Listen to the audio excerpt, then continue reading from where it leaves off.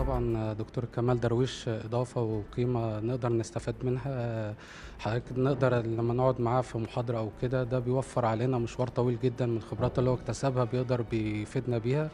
يوفر علينا مجهود آه، كتير جدا بإضافة المعلومات آه، زي المشاكل اللي هو واجهته وإحنا بنقدر أول ما بنشوفها بنقدر نفتكر الأفكار والحاجات اللي هو قالها لنا والحلول.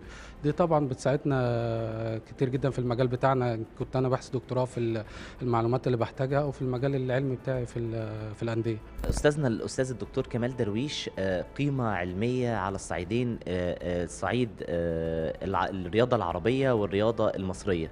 آه، دكتور كمال درويش كقيمه علمية هو مؤسس لعلوم كتير من العلوم الرياضية سواء كان في مجال الإدارة الرياضية أو في مجال التسويق وشفنا استخدامه للعلوم دي في إدارته لنادي الزمالك لأن كانت من أنزه آه، آه، عصور نادي الزمالك هو عصر إدارة الأستاذ الدكتور كمال درويش لأن الدكتور كمال درويش ربط العلم آه، آه، الأكاديمي بالإدارة الفعلية لإدارة الأندية. طبعا الدكتور كمال يعني شهادتنا فيه مجروحة لأن هو أستاذنا وأستاذ الأساتذة في كلية التربيه الرياضيه مش هنا بس مش في القاهرة بس لا على مستوى الوطن العربي على مستوى الدول كلها معروف بعلمه بمساعدته لطلابه.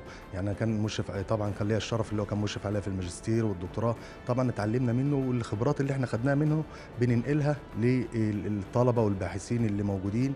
لأن طبعا الدكتور كمال سواء هو جامع ما بين المجال ال- الأكاديمي فكلية التربية الرياضية كان عميد الكلية كان رئيس كان رئيس ال- ال- ال- ال- اللجنة العلمية في ترقية الأساتذة والأساتذة المساعدين. إيه، كان مسؤول عن التربية الرياضية في مجال الوطن العربي كله.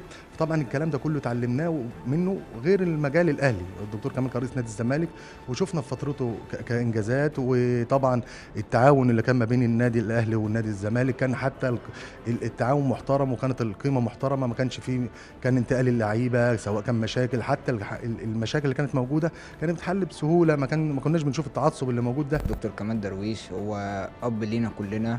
وسند لينا لو في أي حاجة من قبل ما نقدم في الكلية وإحنا في اختبارات كنا نروح له على طول على المكتب كان لازم يساعدنا.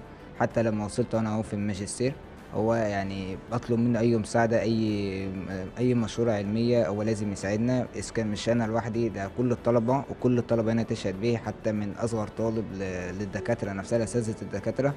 هو بسم الله ما شاء الله عليه قيمة علمية و وكان عميد الكلية. سنة تاريخ 90 هو ربنا يخليه لينا يعني.